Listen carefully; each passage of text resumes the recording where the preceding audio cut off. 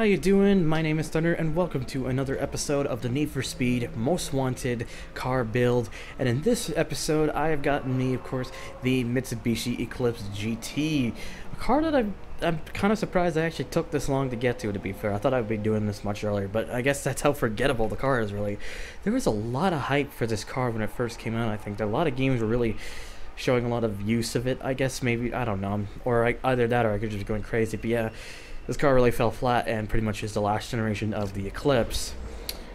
But the stats seem to look alright. and It could be a very similar case of the Audi TT apparently. But let's see if it's actually around that same area or if it's even better or worse. To find out the real answer to that, we have to take this car around to the Petersburg test track to drive this car for six laps and try to get the fastest lap time that we possibly can out of this car. The current leader is the Porsche Carrera GT, which set a lap time of 57.45 seconds. And of course, you probably already am going to guess that, yeah, I don't actually think this is going to get there. Because it would be, that would be, that'd be crazy if it did, but yeah, let's be realistic here. I don't exactly think an Eclipse is going to do that. But, you know, I could always be wrong. Except in this case when I know I'm not going to be wrong. But anyways. Nevertheless, we're just going to try to see what exactly what kind of time we can pull off with the Eclipse here and at least hope for the best. But, anyways... Speed-wise is actually looking okay. I'd say it's better than, just a little bit better than the uh, TT, and the handling's actually pretty well. It's, it's handling sharper than I was actually expecting it to.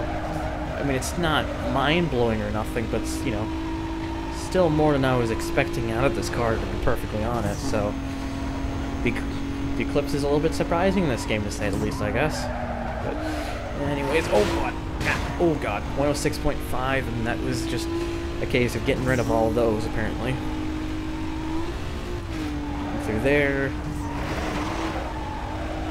Try to just keep speed up good, didn't fall below 200 kilometers an hour. I mean, not it's not great either, but you know, still better than going below that 200 mark, I'd say. So, you know, you can't really blame me too much for saying that, I guess, in that kind of situation.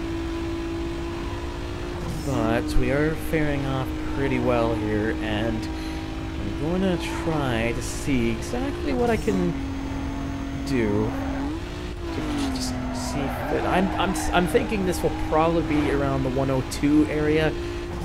Maybe low 102s, but of course, there's only one way of finding out is, of course, figuring out what times I'm able to get with this thing, of course.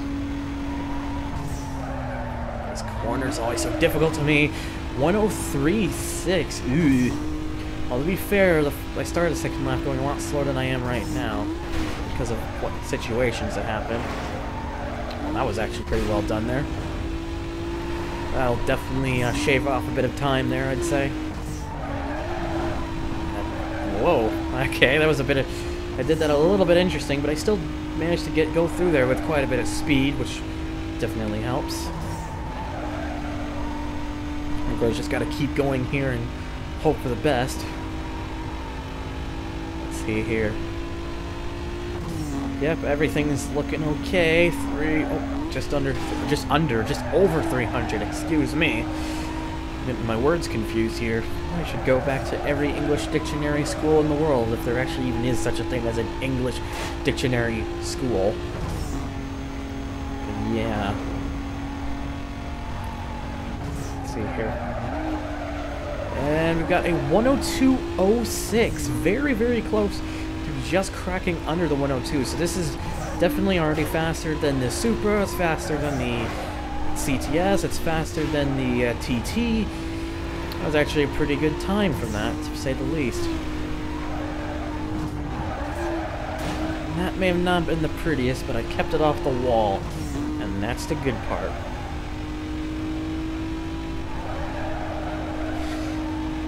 So, let's see what exactly else I'm going to achieve with this car. Can I at least can can getting under just under 102 be possible? I mean, it, if I were to find a way, it could possibly be done. Um, there, there's again another toll booth that didn't load properly, so it's just kind of signs there and whatnot, just kind of sitting there. I mean, I have a pretty good hard drive here. I, I replaced the hard drive. Uh, in December, in like the end of December, so 102.1. Wow. So yeah, this thing can do low 102s. Kind of, kind of, kind of good to see though. Anyway, anyways, still, of course, trying to keep as much I can to keep the uh, power and whatnot of this car going, and I may have done that a little, just a little late on that one compared to what I could I could do, but you know, not terrible either. Or just keep trying to keep the speed of this car going and not try to not try to slow it down. I think. I think. What am I saying? Ah, whatever. I can't even think anymore, to be honest. I've been doing... This is like the 24th part I've done in one day. We're recording this whole series in one sitting, so it's like... That's probably why my brain is not thinking right anymore. This should be a pretty good lap, I'd say. Oh, only 102.4? Huh. No, I thought that, I felt like it was the best lap I was doing, but apparently not. Oh god. And of course, here's my AI car again, who screwed himself up, as usual. Or screwed herself up, since apparently his name's Alice. Apologies. I'm actually coming into a zone where I can just kind of do that and cut through, and there you go. Managed to avoid hitting the car completely, which is nice. But it's kind of ridiculous that they have these like little uh, issues sometimes, to say the least, I suppose. To say the least, I suppose. Okay. Uh, me and my brain. Many journeys of many stupidities. Okay, that was that was to be expected at some point, I suppose. Already know this isn't going to be better, so let's just uh, let's just hit this to get this over with. I can just find out anyways what time I gotten from that anyways, so. What would have, what was that time anyways? A 105.8, so yeah, it wouldn't have even mattered. But anyways, a 102.06 for the Eclipse is a little better than I was expecting it to. I was expecting about a second slower, but it was a second faster, so hooray!